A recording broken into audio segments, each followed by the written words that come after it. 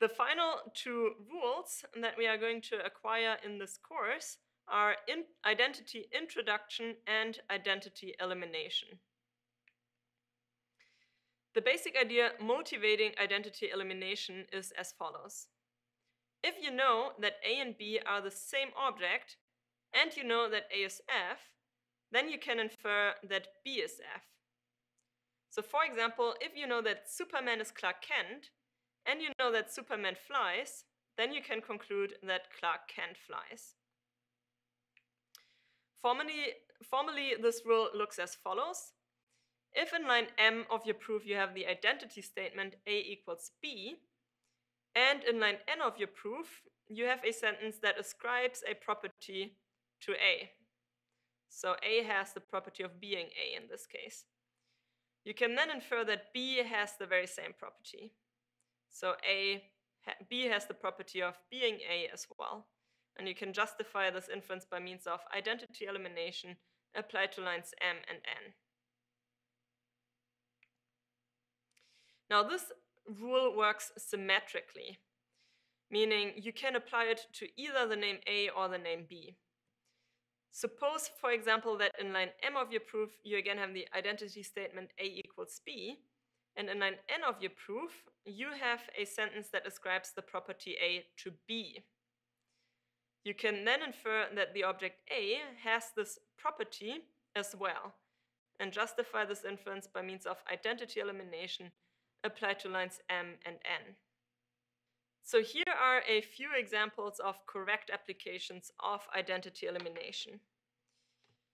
Let's start in the top left corner. Suppose that in line M we have the sentence A equals B, and in line M we have the sentence either FA or all X are G. You can then infer that either FB or all X are G and justify this inference by identity elimination applied to lines M and N. Now, this works symmetrically. Suppose that in line M we have the sentence A equals B, and in line N we have the sentence FB or all X are G. You can then infer that either FA or all X are G and justify this inference by means of identity elimination applied to lines M and N.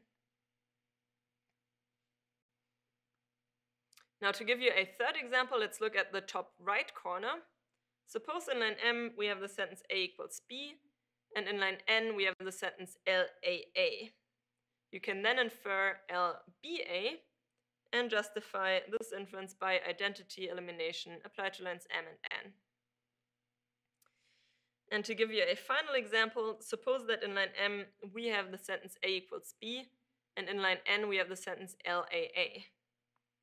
You can then infer LBB and justify this inference by means of identity elimination applied to lines M and N. Now the difference between the third and the fourth example here is that in the third example we only replaced one of the occurrences of A by means of the name B, but in um, the fourth example we replaced both occurrences of the name A with the name B. Both are correct applications of the rule identity elimination. Now, identity introduction is an incredibly easy rule of inference. The basic, um, the basic idea motivating this rule is as follows. For any object C, C is identical to itself. So for example, Atari is identical to himself. Formally, the rule looks like this at any point in your proof, you can assert an identity of the form A equals A and justify this inference by means of identity introduction.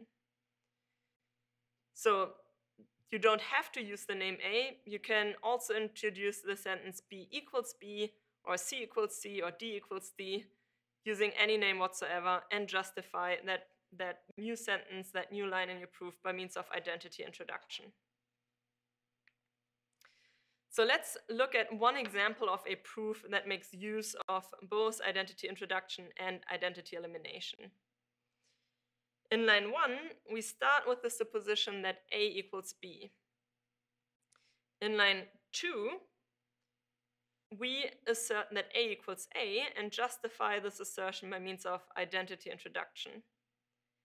In line 3, we can then infer that B equals A and justify this inference by means of identity elimination applied to lines 1 and 2. In line 4, we can then infer that if A equals B and then B equals A, and justify this inference by means of conditional introduction applied to lines 1 to 3, we can then infer that for all y, if y equals b, then b equals y, and justify this inference by means of universal introduction applied to line 4. And then in the final step, we can infer that for all x and for all y, if y equals x, then x equals y. So what we have proven here is the so-called symmetry of identity, meaning that for any two objects whatsoever, if y is identical to x, then it must be the case that x is also identical to y.